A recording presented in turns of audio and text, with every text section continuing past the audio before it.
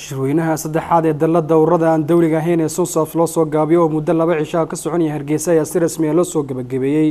iyadoo lagu soo doortay xubno cusub oo ururka hogaamin doona muddada labada sano ee soo socota. Waxaa sidoo kale lagu ansixiyey xubno ururo cusub oo dalada ku soo biiray iyo sidoo kale wax kabedel lagu sameeyey dastuurka ururka. Madaxweyne ku-xigeenka somalilan cabdiraxmaan cabdulaahi ismaaciil saylici oo soo xidhay shirweynahan ayaa ku ammaanay guddidii hore ee xilkan soo haysay hawshii baaxadda lahayd ee soo qabteen isagoo sidoo kale kuwa cusubna u rajeeyey guulo wax ku ool ah runtii waxay noo tahay farxad aada u weyn waa afkaar wax halkaas ku yimiday anu waxaan odhan karaa waa qaybta u weyneyd ee bulshada reer somalilan sababtoo ah mar hadday iskugu jira jiraan civil society-gii oo enjooyadii private sectorkii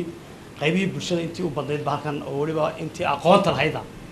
ee dalka iyo dadkan u baahnaaba runtii ay iyaad matalaysaan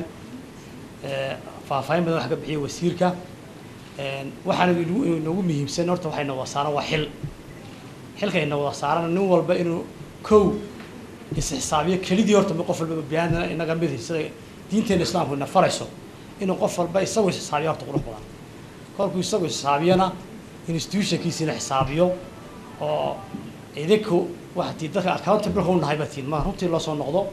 Guddoomiyihii hore ururka sonsaf aadan xaaji cali axmed ayaa ka warramay guulihii ay gaadheen muddada ay xilka hayeen